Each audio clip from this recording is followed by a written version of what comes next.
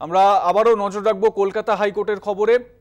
বার কাউন্সিলের প্রতিনিধিদের দেখা করার অনুমতি প্রধান বিচারপতির। বিচারপতি অভিজিৎ গঙ্গোপাধ্যায়ের যে বিচার ব্যবস্থা, সেই বিচার ব্যবস্থা নিয়ে প্রশ্ন তুলেছিলেন বার অ্যাসোসিয়েশন এবং বার কাউন্সিলের সদস্যরা। এবং প্রধান বিচারপতির সময় চেয়েছিলেন তারা কথা বলবেন বলে এ বিষয়ে। এবং সেই অনুমতি প্রধান বিচারপতি দিয়েছেন বলে জানতে পারা গিয়েছে। আজ সন্ধে ছটায় দেখা করার অনুমতি বার অ্যাসোসিয়েশন এবং বার কাউন্সিলের প্রতিনিধিকে সন্ধে ছটায় দেখা করার অনুমতি।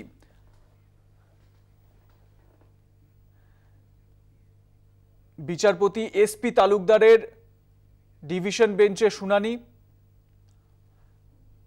বার কাউন্সিলের প্রতিনিধিদের দেখা করার অনুমতি। বিচারপতি অভিজিৎ গঙ্গোপাধ্যায়ের বিচার ব্যবস্থা নিয়ে কথা। আজ সন্ধে ছটার সময় সময় দিয়ে দেওয়া হয়েছে।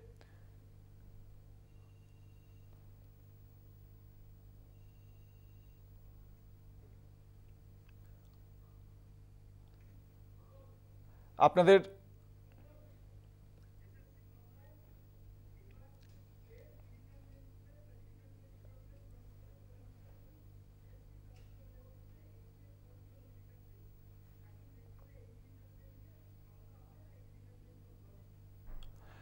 এসএসসি দুর্নীতি মামলায় পঞ্চম ডিভিশন বেঞ্চ গঠন করলেন প্রধান বিচারপতি। বিচারপতি এসপি তালুকদারের ডিভিশন বেঞ্চ গঠিত হলো।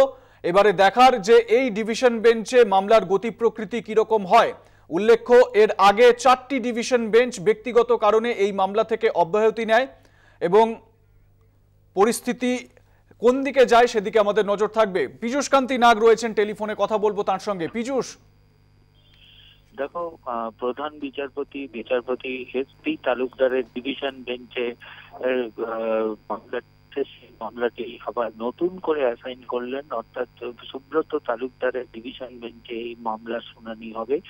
ইতিমধ্যে আবেদনকারীদের পক্ষ থেকে তার এজলাসে তারা হাজির হয়েছেন এবং বিচারপতি এখনও যেহেতু এজলাসে নেই, তিনি এলেই ডিভিশন বেঞ্চে বিচারপতি অভিজিৎ গঙ্গোপাধ্যায়ের আজকের অর্ডারের স্থগিতাদেশ চেয়ে এবং পাশাপাশি অন্যান্য মামলাগুলি ক্ষেত্রেও কিন্তু যে সমস্ত নির্দেশিকা জারি হয়েছে, তার আবেদন জানাবে আবেদনকারীরা। এখন দেখার বিচারপতি সুব্রত তালুকদার এই মামলাটি গ্রহণ করেন না, তিনিও এই মামলা থেকে অব্যাহতি নেন। তার জন্য আমাদের অপেক্ষা করতে হবে। পীযুষ বিচারপতি সুব্রত তালুকদার তিনি যদি মামলাটি নেন, সেক্ষেত্রে তার ডিভিশন বেঞ্চে প্রাথমিক যে শুনানি প্রক্রিয়া, সেটা কি নিয়ে হবে? সেই, সেইটা যদি একটু ব্যাখ্যা করো। প্রাথমিকভাবে যে অভিজিৎ গঙ্গোপাধ্যায়, যে সেই এসপি সিনার যে সিবিআই এর কাছে হাজিরার নির্দেশ এবং সিবিআই তদন্তে যে যে নির্দেশিকা জারি হয়ে যে সিবিআই আধিকারিকরা জিজ্ঞাসাবাদ করতে পারবে, তাদের গ্রেপ্তার করতে পারবে হেফাজতে নিয়ে। এই এবং অলোক সরকারকে ডেকে জিজ্ঞাসাবাদ করে হেফাজতে নিতে পারবে।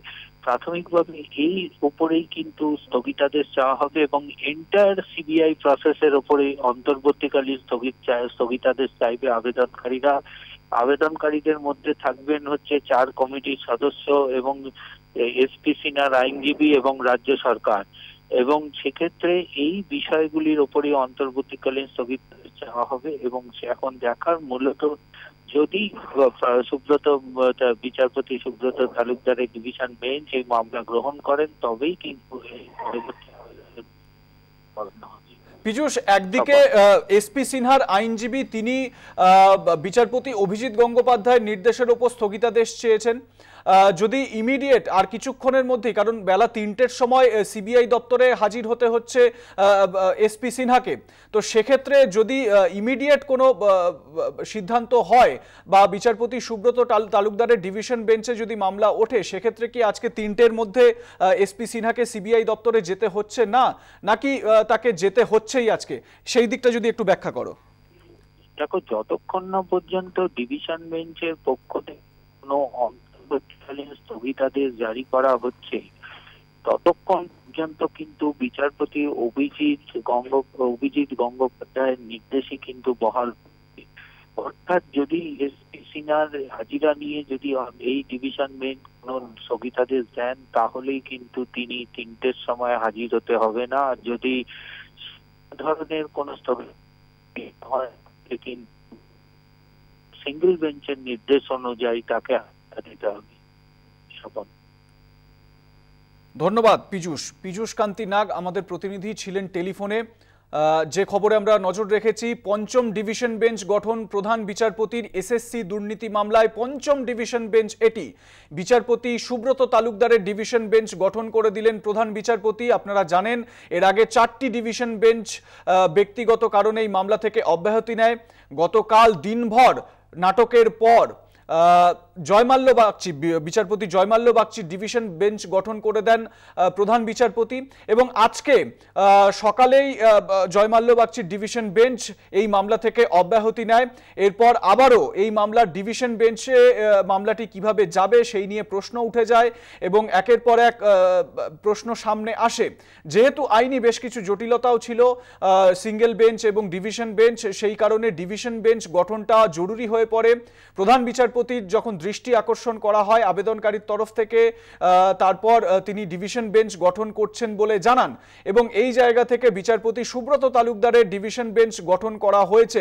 যদিও বিচারপতি অভিজিৎ গঙ্গোপাধ্যায়ের যে সিঙ্গেল বেঞ্চ অর্থাৎ বিচারপতি গঙ্গোপাধ্যায়ের যে নির্দেশ, সেই নির্দেশ অনুযায়ী তিনটের মধ্যে আর কিছুক্ষণের মধ্যেই সিবিআই দপ্তরে হাজিরা দিতে হবে। এসএসসির প্রাক্তন উপদেষ্টা এসপি সিনহাকে। যদিও বিচারপতি গঙ্গোপাধ্যায়ের সেই নির্দেশের উপর স্থগিতাদেশ চেয়ে প্রধান বিচারপতির দ্বারস্থ হয়েছিলেন এসপি সিনহার আইনজীবী। এই জায়গা থেকে এই মামলায়, অর্থাৎ এই এসএসসি নিয়োগ নিয়ে যে মামলা, সেই মামলায় নতুন যে ডিভিশন বেঞ্চ, সেই বেঞ্চ গঠন করেছেন প্রধান বিচারপতি, পঞ্চম ডিভিশন বেঞ্চ বিচারপতি সুব্রত তালুকদারের।